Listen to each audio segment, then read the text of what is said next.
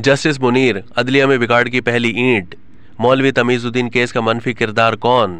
मुमताज़ वकील हामिद खान की पांचवी किताब a history of judiciary in Pakistan अदलिया के बारे में बहुत से हक़ से पर्दा उठाती है। हामिद खान अदलिया की तारीख के ऐनी शाहिद हैं और पसे पर्दा होने वाली साजिशों के राजदा हैं। वो बताते हैं कि जस्टिस मुनीर कयाम पाकिस्तान के पंजाब चीफ कोर्ट यानी मौजूदा हाई कोर्ट के चीफ जस्टिस बने और उसके बाद फेडरल कोर्ट ऑफ़ पाकिस्तान यानी मौजूदा सुप्रीम कोर्ट के चीफ जस्टिस बने थे। वो जज की हैसियत से अपने तवील कैरियर के दौरान अपना किरदार अदा करके 26 जून उन्नीस को इस दुनिया से रुखसत हो गए। लेकिन उनकी जानब से दिए गए गलत फैसलों का खमियाजा न जाने कौम कब तक भुगतती रहेगी।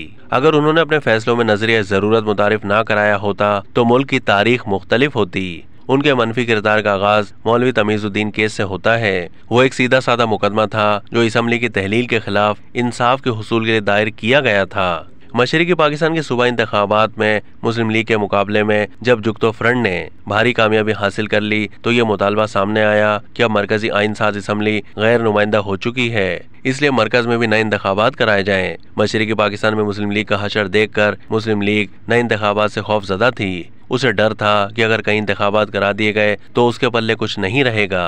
इंतबी नतज के खौफ के अलावा मुस्लिम लीग को कुछ अर्सा पहले वज़ीर अजम की हैसियत से ख्वाजा नाजिमुद्दीन की बरतरफी का भी सदमा था, जिन्हें गवर्नर जनरल गुलाम मोहम्मद ने गैर आइनी तौर पर बरतरफ कर दिया था। इसम्बली ने उस वक्त तो कमज़ोरी दिखाई और ख्वाजा नाजिमुद्दीन की बरतरफी को कबूल करते हुए उन्हीं के नामजदा मोहम्मद अली बोगरा को बतौर वज़ीर अजम तस्लीम कर लिया था, लेकिन अब वो चाहती थी कि वो आइंदा ऐसा कोई इकदाम ना उठा सकें। चुनाचे इक्कीस सितंबर उन्नीस सौ चौवन को इसम्बली ने गवर्नर जनरल के इसम्बली की तहलील और हुकूमत को बर्खास्त करने के इख्तियार सल्ब कर लिए। गवर्नर जनरल ने आइन साद इसम्बली के इस इकदाम का जवाब तेईस रोज के बाद दिया।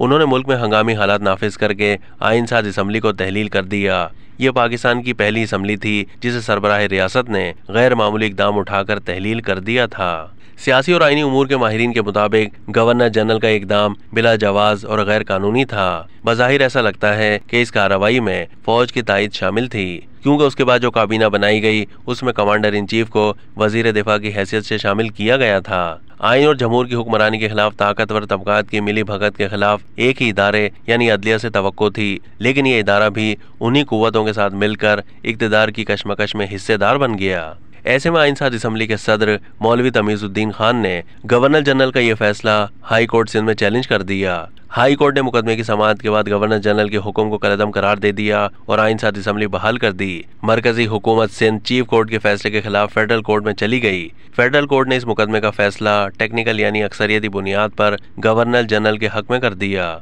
यानी करार दिया कि उनकी तरफ़ से आइन साज असम्बली की तहलील का इकदाम दुरुस्त था। इस फैसले का सबसे कमज़ोर पहलू ये था कि चौसठ सफात के फैसले में ऐसी कोई फाइंडिंग नहीं मिलती कि आया गवर्नर जनरल असम्बली तोड़ने का इख्तियार रखते भी हैं या नहीं। जस्टिस मुनीर जैसे शख्स ये कतन पोशीदा नहीं था कि उनका फैसला मुल्क के जहाज़ को गहरे पानियों में डबो देगा। फिर भी उन्होंने ऐसा किया। इस फैसले ने, जिसके तहत उन्होंने गवर्नर जनरल को मलिका बरतानिया जैसे इख्तियार दे दिए थे।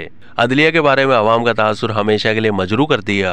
जस्टिस मुनीर ने अपने इस फैसले में सिंध चीफ कोर्ट की सरजनिश की थी और लिखा था कि अदालत फैसला करते हुए कभी ये पेश नज़र नहीं रखना चाहिए कि फैसले के नतज क्या होंगे। जस्टिस मुनीर ने सिंध चीफ कोर्ट के फैसले पर तो तनकीद की, लेकिन अपना तर्ज अमल भूल गए और अपने फैसले का जवाब ये पेश किया कि वो इस किस्म का फैसला ना देते तो मुल्क में इनकलाब आ जाता और खून रेजी होती।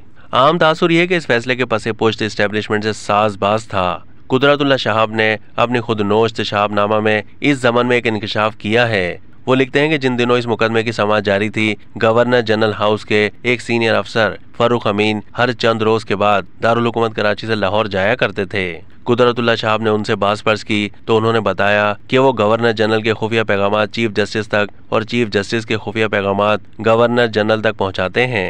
मौलवी तमीजुद्दीन केस का फैसला बज़ाहिर गवर्नर जनरल और चीफ जस्टिस के दरमियान इसी साजबाज का नतीजा था, जिसे पाकिस्तान की आवाम ने कभी कबूल नहीं किया।